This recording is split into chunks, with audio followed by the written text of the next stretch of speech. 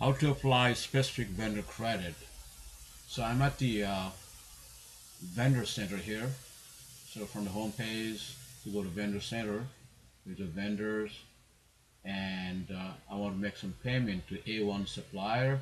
So this is uh, A1 suppliers vendor center here, and uh, as you can see here, I have five outstanding bills and three credits, and I just want to make payment uh, for this bill and apply credit this one against this invoice.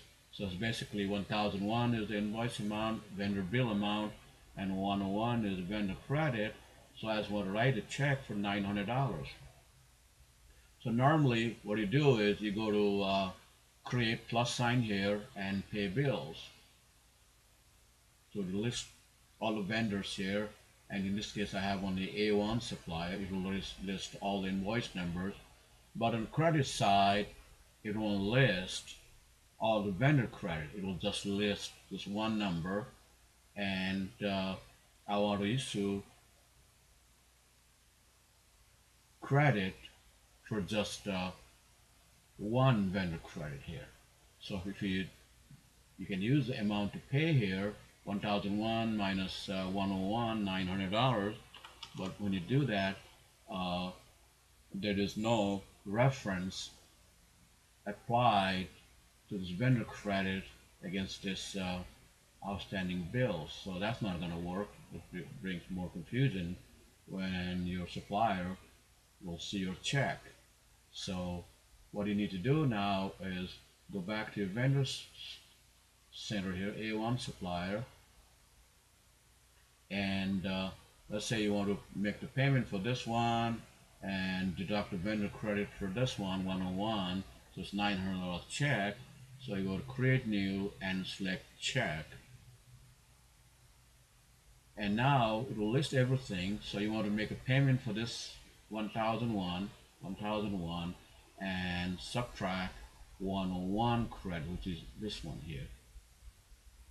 So now you have a check for $900 and $1,000, 1001 is your outstanding bill, which is 1001 bill number, and uh, you're taking credit for 101 vendor credit here.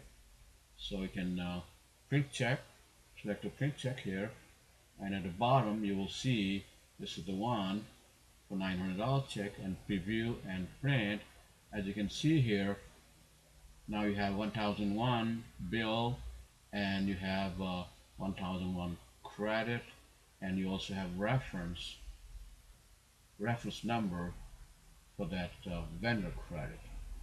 So that's how you have to do it uh, so it will bring more confusion if you go to vendor under vendors.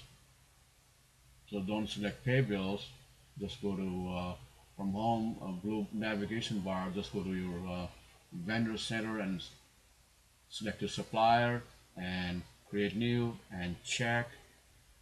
And from this add to check, just select the ones you need, you want to pay and and then deduct credit. So that works a lot better. So that's about it.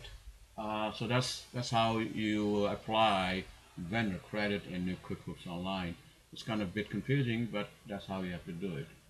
So visit NewQBO.com. If you have any questions, you can ask questions if you go here. So NewQBO.com. Thank you for watching. Bye.